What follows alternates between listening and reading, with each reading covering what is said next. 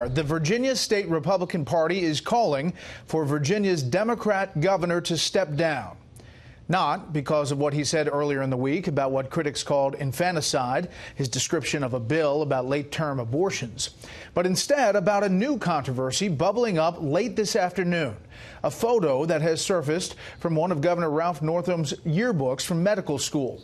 The old photo getting a fresh look after a newspaper discovered this racist yearbook photo on Northam's page picture is from the 1984 Eastern Medical School yearbook. It's showing two men, one in blackface, one in a Ku Klux Klan robe and hood, as you see here. It's unclear who the people in the costume are. It is on his page. In addition, the Democratic governor's 1981 yearbook lists one of his nicknames as Coon Man, a derogatory term. Reaction, as you can imagine, online was swift, and the controversy is actually getting a lot more attention than his defense and description of of the late term abortion bill did earlier this week.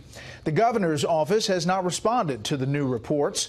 Northam defended his late term abortion descriptions today, hours before the yearbook photos surfaced. Correspondent Peter Doocy is following this breaking story, really just minutes before we got on set here. He joins me now with reaction uh, that this picture is getting. Good evening, Peter. Good evening, Bret. This page in Northam's 1984 medical school yearbook is filled with photos of the future governor, and then there are these two still unidentified people. One of them is in blackface, one of them is in a KKK hood and robe. And now the Virginia Republican Party chairman says this racism has no place in Virginia. These pictures are wholly inappropriate. If Governor Northam appeared in blackface or dressed in a KKK robe, he should resign immediately. And the White House counsel, Kellyanne Conway, sees now shades of Brett Kavanaugh's confirmation confirmation hearing where yearbooks were used to try to back up unproven accusations, she tweeted this This should be easier work than parsing every word and semicolon in the Kavanaugh yearbook. So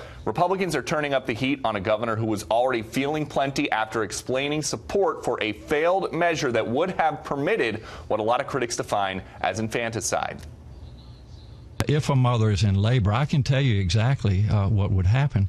Um, the infant would be delivered. Uh, the infant would be kept comfortable. Uh, the infant would be resuscitated if, if that's what the uh, mother and the family desired. And then a discussion would ensue.